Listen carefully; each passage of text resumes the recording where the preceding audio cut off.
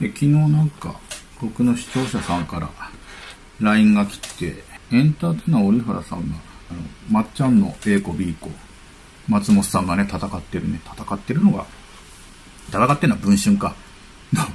まあ、それで、えー、誰なのかはっきりさせてくれって言ってた A 子 B 子、特定したってやつですね。松本人志の性加害として告発した人物2人の名前が分かった。まあ、名前は僕は YouTube であえて言いませんが、A 子がね、すごいなと思うのが、ホリプロ所属してたってことなんですよ。で、B 子は、松竹。ホリプロって、小沢と一緒ですよね。スピードワゴン小沢もホリプロ。どういうことっていう風になんですよね。そうなると、そもそもこの飲み会に呼んだのは、小沢はホリプロ所属の後輩だから呼んだって話なのっていう、ね、同じプロダクションに所属してて、ね、なんかそんなよそよそしい感じではないじゃないですか。言ってしまうと。まあ、その後、小沢の飲み会にも何回も参加してるとか言ってたですもんね、この人はね。ってなると、ホリプロも把握してたって話じゃないんですかと。これ問題じゃないですかっていうふうに思いますけどね。松竹はもともと吉本のライバルみたいなところありますかね。この二人かなりが仲が良いみたい。ちなみに、その A 子の方はインスタで親しい友達限定でいろいろ書き込んでたけど、誰かが晒したか分かりそうだからさすがに公開しないでおく。ああ、なるほど、なるほど。これ普通に暴露していいものなんだろうかとか、かなり 荒れてますけどね。折原さんのはね。まあ、荒れるだろうなって感じがします。もう面白いのがあるんですよ。松本、あ、文春記者から聞いた松本人志の電話番号入手の経緯ってやつ。松本人志の件でタレコに、とある五反田、裏オープ確定と名高い風俗店に松本、まっちゃんが有名タレント A が来店。ああだから、誰かと一緒に行ったと。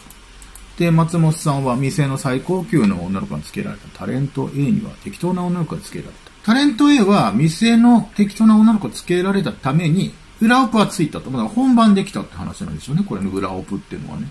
しかし、まっちゃんは裏オプのサービスを受けれなかったから、本番できなかったから激怒したってこと。店にもう一回突するも、またや空振りした。本番はできないじゃないかと。まっちゃん激怒する。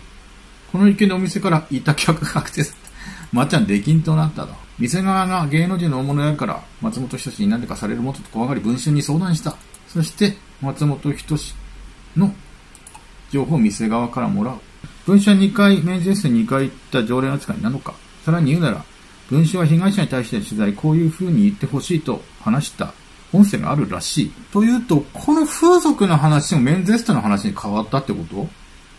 しかもあれ、場所渋谷ってなってましたよね。これ五反田なんですよね。五反田は風俗でしょうけど、性加害という言葉に松本は切れていて、文春側もネタがないからって過去のタレコミを引っ張り出して最近あったタレコミのように記事に書いた。やばいだろ、普通に抹茶の勝ちだな。今、文春の話全部聞けるようになってるから、これ以上変な話が膨らんでいくなら、タレコンのやつ一人一人公開していくかもなと。文春なんですけど、箕輪さんのなんかセクハラしてたって記事。エイベックスの松浦さんがタイマーやってたっていう記事も、実は嘘だったからって消したみたいな、スルッと消してたみたいな話がちょっと問題になってますよね。結構やばくなってきてんじゃないのかなっていうふうに思いますけど。そして、まあ僕だからここのこの、まあ名前は言いませんが、この、まあこれが本当だとしたらね、告発した人物、その A 子の方が、ホリプロ所属ってのが本当だとしたらですよ、かなり問題があるんじゃないのかなっていうふうに。ホリプロの前でなんかするって書いてあったっけかな。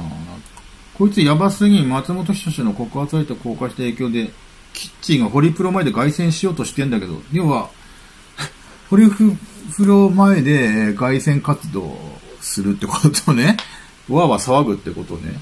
松本人志さんへの文章に垂れ込んだエコに対してホリプロ前緊急抗議凱旋。ってのが出てるのね、YouTube の方で。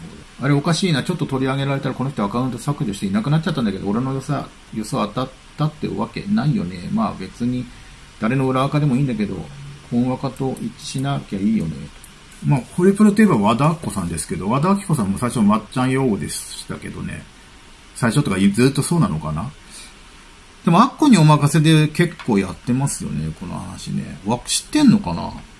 ホリプロ所属だったっていうの、その愛、告発してるのが。まあそこもまた問題ですよねと。まあそれが本当であればの話ですけどね。伊藤純也の A 子 B 子も、折原さんとこに連絡が行って、連絡が行ったのかわかんないですけど、うん、垂れ込み行って晒したんでしょうし、まっちゃんの A 子 B 子もね、みんながみんな、誰だ誰だってなってる時に垂れ込みって、こうやって晒してんだろうなって感じはしますけど、これがまっちゃんに対してよく働くのか悪く働くのか別としてみんな知りたかったってことなんだろうなって感じですよね。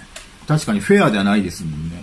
あの、女の人が非公開でってな。でもただ、なるほどねって感じですよ。こういう人が垂れ込むんだなって感じに。普通にグラビアとかやってるんですもんね。怖いですねと思います、芸能界って。